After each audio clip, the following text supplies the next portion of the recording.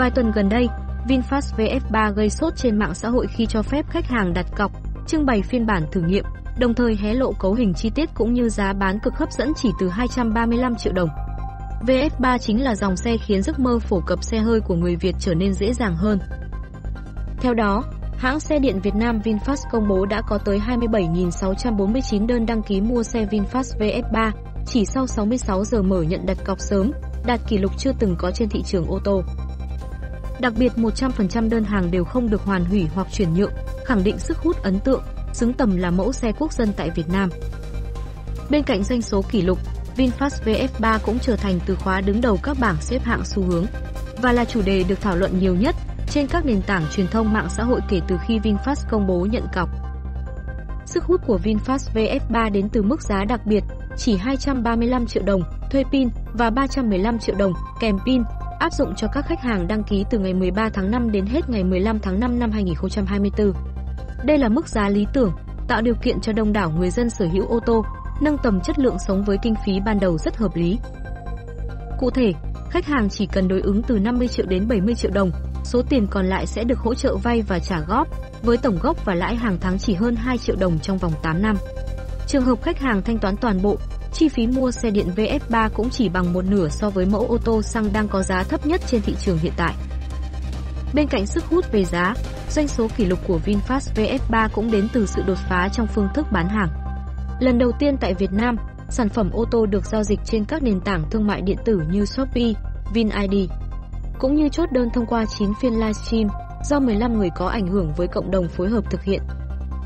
Cuộc cách mạng trong phương thức bán hàng đã đưa VinFast VF3 trở thành mẫu xe đầu tiên đạt được lượng đơn đặt hàng trực tuyến vượt 50% tổng số đơn hàng.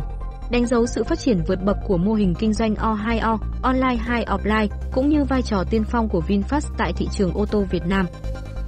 Đáp lại tình cảm và sự ủng hộ nồng nhiệt của khách hàng, bà Dương Thị Thu Trang Tổng Giám đốc VinFast thị trường Việt Nam cho biết, kết quả 27.649 đơn đăng ký mua xe chỉ sau 66 giờ là minh chứng cho thấy sự ủng hộ mạnh mẽ và tin tưởng của người dân với thương hiệu ô tô Việt. VinFast vô cùng biết ơn tình cảm và sự yêu thương của khách hàng với dòng sản phẩm VF3 nói riêng và thương hiệu VinFast nói chung. VinFast sẽ nỗ lực hết sức để xứng đáng với tình cảm đặc biệt này và mong sẽ tiếp tục nhận được sự chung tay đóng góp của mọi người trong hành trình phát triển thành thương hiệu Việt Nam đẳng cấp hàng đầu thế giới. Hy vọng tất cả chúng ta có thể thể hiện được sự mãnh liệt tinh thần Việt Nam. Tương tự các mẫu ô tô điện khác của VinFast, VF3 cũng được áp dụng chính sách bảo hành chính hãng tốt bậc nhất thị trường. Với thời hạn 7 năm hoặc 160.000 km cho xe, tùy điều kiện nào đến trước, và 8 năm không giới hạn km cho pin. Dự kiến, những chiếc xe điện VinFast VF3 đầu tiên sẽ được bàn giao cho khách hàng từ tháng 8 năm 2024 và sẽ có tối thiểu 20.000 xe được bàn giao trong năm nay.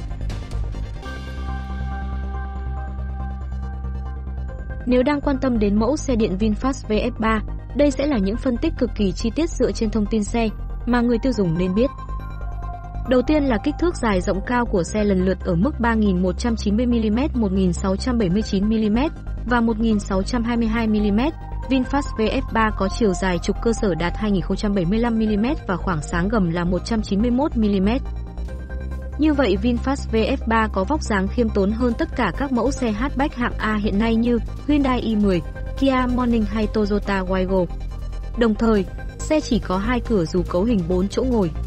Trải nghiệm thực tế cho thấy phía sau có đủ không gian để hai người lớn với chiều cao không quá 1m75 ngồi được khá thoải mái. Tuy nhiên khi hành khách ở băng ghế phía sau ra vào, người ngồi phía trước chắc chắn sẽ phải xuống xe và thao tác chỉnh ghế, điều này rõ ràng là khá bất tiện.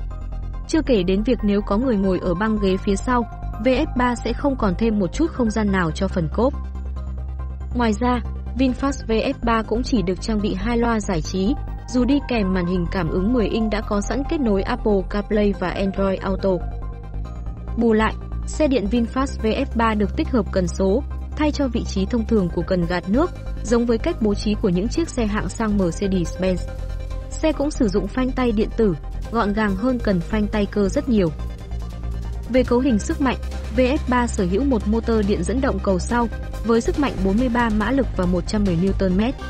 Đặc biệt, VF3 có khả năng di chuyển quãng đường từ 205 đến 210 km và vẫn tương thích với hệ thống sạc nhanh cho phép bổ sung dung lượng pin từ 10 đến 70% chỉ trong 36 phút. Hệ thống trạm sạc phủ rộng khắp cả nước chính là lợi thế của VF3 so với các đối thủ xe điện đến từ Trung Quốc đã và đang nhăm nhe tham gia thị trường Việt Nam. Dù hoàn toàn đủ an toàn và có thể chạy trên cao tốc hay đường quốc lộ, nhưng VinFast VF3 sẽ là sự lựa chọn tốt nhất khi vận hành hàng ngày trong đô thị. Do đó, xe sẽ phù hợp với những người dùng có lộ trình di chuyển cố định hàng ngày. Như vậy, nhóm khách hàng mục tiêu của VF3 nhiều khả năng sẽ là những gia đình đã sở hữu ít nhất một xe ô tô khác và VF3 được sử dụng để làm xe đi làm, đi chợ hay đưa đón con cái. Với những người trẻ độc thân hoặc vừa lập gia đình sống chủ yếu tại các thành phố lớn, VinFast VF3 cũng là một sự lựa chọn rất hợp lý. Kích thước nhỏ gọn cho phép xe vận hành linh hoạt trong phố, và với bộ pin chạy được 200 km thì việc dã ngoại cuối tuần để chữa lành hoàn toàn không phải là một điều khó khăn.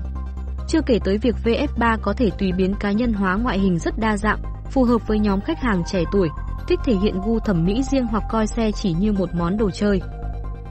Tuy nhiên, dễ thấy nhất, VinFast VF3 không phù hợp với những gia đình đang sở hữu xe máy và bắt đầu nâng cấp lên ô tô.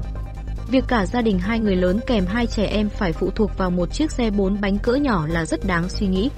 Nếu thường xuyên đi chơi xa mỗi dịp cuối tuần, VS3 với không gian nhỏ và công suất chỉ dưới 50 mã lực cũng không phải sự lựa chọn tối ưu đem lại cảm giác thoải mái khi di chuyển đường trường. Tiếp theo, VS3 cũng hoàn toàn không phù hợp với những người làm dịch vụ vận tải. Bởi bất tiện lớn nhất là xe chỉ có hai cửa, khiến mỗi lần ra vào đều phải di chuyển hàng ghế trước. Chưa kể tới việc xe còn thiếu vắng không gian chứa đồ nếu không gập hàng ghế sau. Những người có lịch trình di chuyển linh hoạt, thường xuyên đi xa, đi liên tỉnh, cũng không nên nghĩ tới VinFast VF3 bởi lốp nhỏ và trục cơ sở ngắn sẽ khiến xe gặp bất lợi khi chạy cao tốc.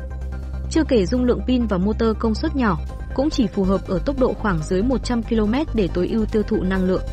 Khi chạy trên cao tốc, xe sẽ nhanh cạn pin hơn nhiều. Ngược lại, nếu kinh doanh xe tự lái tại các thành phố hoặc điểm du lịch, các đảo lớn, VF3 sẽ là một sự lựa chọn không tồi. Mặc dù vậy, VinFast VF3 vẫn là mẫu xe ô tô có giá thành dễ tiếp cận nhất hiện nay đối với người tiêu dùng. Việc này sẽ thúc đẩy số lượng người dùng tăng lên nhanh chóng, qua đó góp phần hiện thực hóa giấc mơ phổ cập ô tô tới mỗi người Việt. Cảm ơn quý vị đã quan tâm theo dõi. Để tìm hiểu thêm những thông tin khác liên quan tới các vấn đề về thị trường, kinh tế, doanh nghiệp, mời quý vị truy cập vào website của chúng tôi tại địa chỉ www.kinh tế chứng khoán.vn để theo dõi. Nếu thấy hay, hãy nhấn like và đăng ký kênh để ủng hộ tòa soạn có thêm động lực sản xuất nhiều video hay phục vụ quý vị. Xin chào và hẹn gặp lại.